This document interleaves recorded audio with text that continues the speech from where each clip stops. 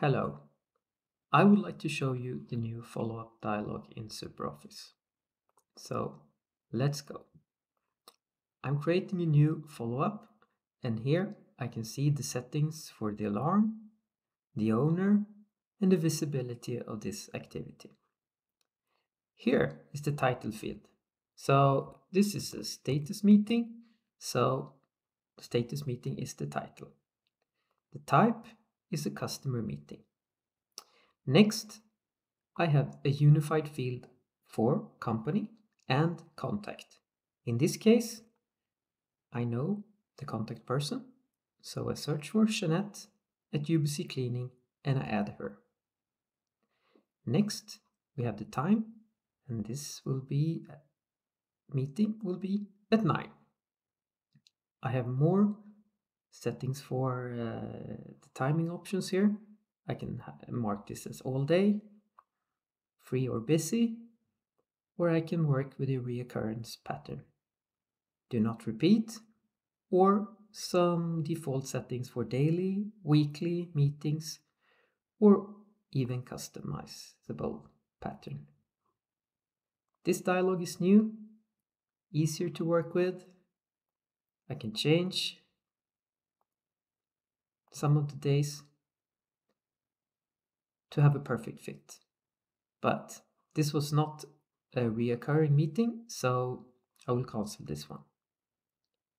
Next, I will uh, connect this activity to uh, sale and a project, and I'm moving on to the agenda field.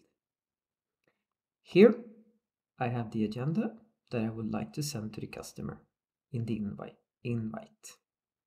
So now I can use bold here, I can have bullets, I can write unlimited text here. So looking forward. Next, we have the internal notes here, and that's for internal notes. Here, I can add a timestamp, the user, and then I can add my notes here. Remember birthday. Next, we have the invite button. Now time to add attendees. You see here that Jeanette is already invited because she was connected to the meeting. I can add more attendees here and I can add colleagues of mine here. So I will add Anna Brown, that's a colleague to me.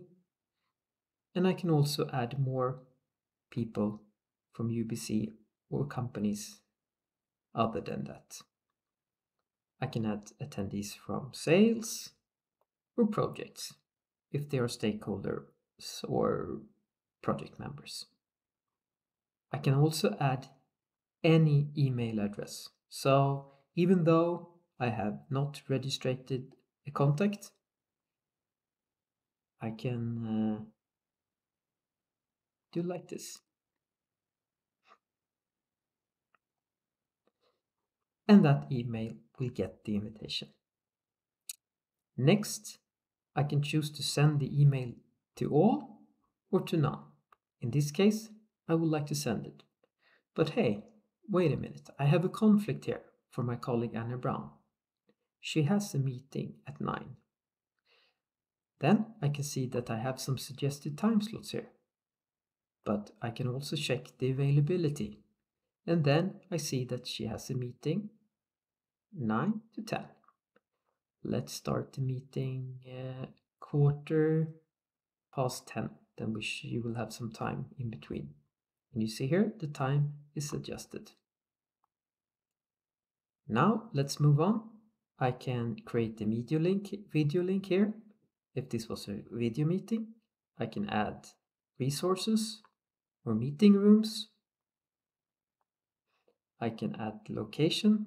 In this case, the meeting is at UBC Cleaning. All right, now it's time to send this invitation. Now I will get a preview here. And before I will send this preview, I can do some changes here. Maybe we can remove that. So now this is this is uh, a new invitation. This will not affect the original uh, activity that, that I made, but now I can save and send this.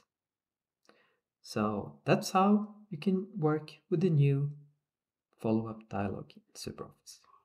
Thank you.